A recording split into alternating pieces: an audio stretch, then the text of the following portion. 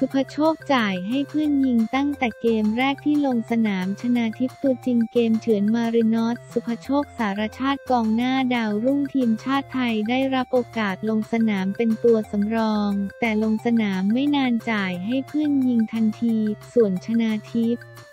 เล่นหนึ่งชั่วโมงเกมเฉือนมารินอสสุภโชคสารชาติกองหน้าดาวรุ่งทีมชาติไทยที่ย้ายจากบุรีรัมย์ยูไนเต็ดไปเล่นให้กับคอนซาโดเลซัปโปโรในเจลีกญี่ปุ่นด้วยสัญญายืมตัวครึ่งฤดูกาลมีชื่อในเกมที่คอนซาโดเล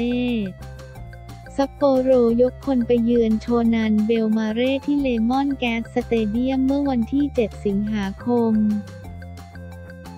เกมนี้ทีมเยือนภายใต้การนำของมิไฮโล เปโตรวิช กุนซือใหญ่ชาวเซอร์เบียส่งชื่อของสุภโชค เป็นผู้เล่นสำรองอยู่ข้างสนาม โดยทีมเยือนเป็นฝ่ายที่ทำผลงานในสนามได้ดีกว่าอย่างชัดเจน ออกนำก่อน 1-0 ในนาทีที่ 9 จากการยิงของโยชิอากิโอมาอีกเท่านั้นไม่พอนาที 14 ชินโซโคโรกิจะยิงอีกลูกให้ทีมเยือนทิ้ง 2 ถึง 0 ก่อนที่นาที 41 ชุนตะทานากะจะยิงอีกประตูให้คอนซาโดเล่นำห่างในครึ่งแรก 3 ถึง 0 มาดามแป้ง เผยถึงเวลาการท่าเรือทำตามเป้าหมายที่รอมานาน 8 ปีครึ่งหลังทีมเยือนยังเดินหน้าบุกอย่างต่อเนื่อง นาที 68 ตัดสินใจเปลี่ยนตัวผู้เล่นด้วยการส่งสุภโชค สารชาติประเดิมสนามเจลีกนัดแรกด้วยการลงเล่นแทนคาซูกิ ฟูกาอิโดยนาที 69 คอนซาโดเล่หนีห่าง 4-0 จากการยิงของชุนตาทานากะ จากนั้นนาที 72 จากความยอดเยี่ยมของสุภโชคที่ใช้ความเร็วกระชากบอลเข้ากรอบเขตโทษด้านขวาจ่ายเจ้ากลางให้เรียวตะอาโอกิยิงโล่งๆ มุณตาข่ายพาทีมเยือนหนีห่าง 5-0 และเป็นการจ่ายให้เพื่อนยิงของสุภโชคตั้งแต่นัดแรก และใช้เวลาเพียง 4 นาทีในสนามเท่านั้น แม้ว่านาที 79 ฮิโรยุกิอาเบะจะยิงให้เจ้าบ้านไล่มาเป็น 1-5 แต่ไม่เป็นผลจบเกมคอนซาโดเล่บุกมาถล่มเบลมาเรถึงบ้าน 5-1 เก็บ 3 คะแนนล้ำค่ากลับออกไปได้สำเร็จอีกคู่ที่คาวาซากิโทโดโรกิ สเตเดียมคาวาซากิฟรอนตาเล่แชมป์เก่าเมื่อปีที่ผ่านมาซึ่งปัจจุบันรั้งอันดับ 6 ของตารางคะแนนเปิดบ้านรับการมาเยือนของโยโกฮาม่า เอฟมารินอสแชมป์เมื่อปี 2019 และจ่าฝูงในปัจจุบันเกมนี้เจ้าถิ่นส่งตัวหลักลงสนามครบครัน โดยมีเจ ชนาธิป สรงกระสินธ์กองกลางตัวหลักทีมชาติไทย ออกสตาร์ทเป็นตัวจริงและเจ้าถิ่นเป็นฝ่ายขึ้นนำหนึ่งถึงศูนย์ก่อนจากการยิงของเลอันโดรดามิยาในนาที 25 เกมทำท่าจะจบครึ่งด้วยการนำอยู่ของเจ้าถิ่น แต่ว่าช่วงทดเวลาบาดเจ็บนาทีสุดท้าย เอลแบร์จ่ายให้เทรุฮิโตะ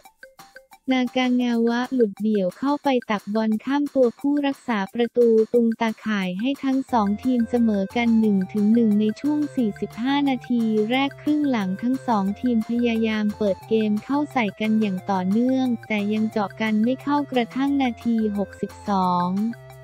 ต้องเปลี่ยนเอาชนาทิพย์สงกระสินไปนั่งพักเกมทำท่าว่าจะจบด้วยการเสมอกันอยู่แล้วกระทั่งช่วงทดเวลาบาดเจ็บนาทีสุดท้ายเจ้าบ้านได้ขึ้นเกมบุกอากิฮิโรอิเอนากะเปิดจากกรอบเขตโทษให้เจเซล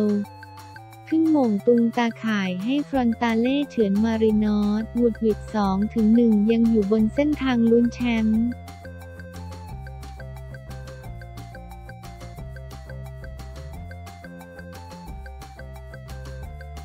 เลยเจ้าเป็นเหตุ ตำรวจเรียกปรับออยรอยจูบหลังโชว์อลังช่างกลางร้านขอนแก่นเปลือยเต้าเป็นเหตุ ตำรวจเรียกปรับออยรอยจูบ 5,000 บาทหลังโชว์อลังช่างกลางร้านขอนแก่น เผยรับงานยอมรับเมาผู้จัดการร้านโดนด้วยวันที่ 6 สิงหาคม 65 พันตำรวจเอกปรีชาเก่งสาริกิจผู้กำกับการสถานีตำรวจภูธรเมืองขอนแก่นได้ชี้แจงกับนางสาวประภาวีชัยมงคล หรือน้องออยรอยจูบอายุ 25 ปีหลังได้เต้นโชว์หน้าอกใส่เพียงกางเกงในตัวเดียวภายในสถานบันเทิงแห่งหนึ่งริมถนนประชาสำราญเขตเทศบาลนครขอนแก่นจนมีการนำคลิปไปเผยแพร่ในโลกโซเชียล พร้อมทั้งได้เรียก นายปรเมศอัคคฮาตอายุ 20 ปี ผู้จัดการร้านมาพูดคุยด้วยพันตำรวจเอกปรีชากล่าวว่าเหตุการณ์ดังกล่าวเกิดขึ้นเมื่อวันที่ 4 สิงหาคม 65 เวลาประมาณ 23 นาฬิกา 50 นาที ซึ่งการถอดเสื้อเปลือยกายท่อนบน แสดงโชว์ประกอบดนตรีให้แก่ลูกค้าที่กำลังนั่งดื่มกินได้รับชม ถือเป็นการกระทำความผิดกฎหมาย ซึ่งนายปรเมศก็ยอมรับสารภาพว่าทำไปเพราะต้องการให้ลูกค้าเข้าร้านมากขึ้น ปัจจุบันร้านดังกล่าวอยู่ระหว่างขอใบอนุญาตตั้งเป็นสถานบริการ ขณะที่นางสาวประภาวีกล่าวว่าในวันดังกล่าวตนได้เดินทางมารับงานเป็นดีเจเปิดเพลงให้กับสถานบันเทิงดังกล่าว โดยก่อนขึ้นแสดงได้ดื่มสุราไปด้วย ก่อนที่จะเปิดเพลงสร้างความสนุกสนานให้กับลูกค้า ส่วนการถอดเสื้อโชว์นั้นตนยอมรับว่าเมา จึงขาดสติจนกระทั่งมีคนบันทึกคลิปก่อนจะโพสต์ในโลกโซเชียล เบื้องต้นตำรวจได้ปรับเงินจำนวน 5,000 บาทกับนางสาวประภาวี ตามประมวลกฎหมายอาญามาตรา 388 ผู้ใดกระทำการอันควรขายหน้าต่อทานกำนัน โดยเปลือยหรือเปิดเผยร่างกายหรือกระทำการลามกอย่างอื่น ต้องระวังโทษปรับไม่เกิน 5,000 บาทส่วนนายปรเมศนักงานสอบสวนจะได้รวบรวมพยานหลักฐานดำเนินคดีในข้อหา ตั้งสถานบริการโดยไม่ได้รับอนุญาต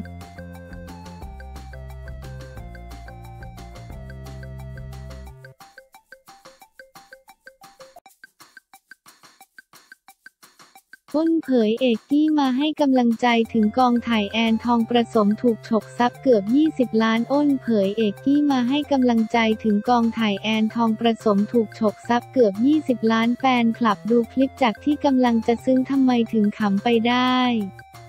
ก้นเผย เอกกี้ เมื่อ อ้น สีพันโพสคลิปเพื่อนซีอย่าง เอกกี้ เอกชัยที่บุกมาถึงกองถ่ายละครเพื่อมาเซอร์ไพรส์พร้อมกับให้กำลังใจแอนทองประสมผู้จัดละครคนดังที่ถูกคนใกล้ชิดทำงานอยู่ร่วมกันมาสิบ มีเข้าลักทรัพย์ในคอนโดส่วนตัวย่านทองหล่อสูญทรัพย์สินมูลค่ากว่า 20 ล้านบาท โดยอ้นโพสต์ผ่านไอจีออนสี1,000 พร้อมกับข้อความว่าเพื่อนมาหาเพื่อนไกลพ้นน้ำพ้นทะเลก็มาแอดอันทองแอดดีเจอีกี้อ้นเผยเอกกี้บทสนทนาในคลิปอ้นบอกว่าเพื่อน เพื่อนเขามาเซอร์ไพรส์เพื่อน ด้านแอนถามว่า เอาจริง ๆ นัดใครแถวนี้ไวหรือเปล่า เอกกี้รีบตอบว่าไม่มาหาจริง ๆ ในวันที่เพื่อนต้องการก็ต้องมาอ้นเผยเอกกี้แอนบอกอีกว่า ไม่รู้ว่าจะมายืมเงินอะไรหรือเปล่า บอกเลยไม่มีให้แล้วนะ เอกกี้บอกว่าไม่หมดครึ่งตู้ แต่แอนยืนยันบอกว่าหมดตู้หมดตู้แล้วทำเอาแฟนคลับที่ติดตามไอจีและได้ดูคลิปนั้นจากที่กำลังซึ่งแต่สุดท้ายทำไมเป็นเรื่องขำไปได้ และมีคนเข้ามาคอมเมนต์ให้กำลังใจจำนวนมาก อาทิดีใจยายิ้มหัวเราะได้แล้ว คุณกำลังใจให้พี่แอนนะคะ คุณแอนพูดเสียงน่าสงสารมากเลยอะ เป็นต้นอ้นเผยเอกที่ขอบคุณไอจีแอนอ้นเอกที่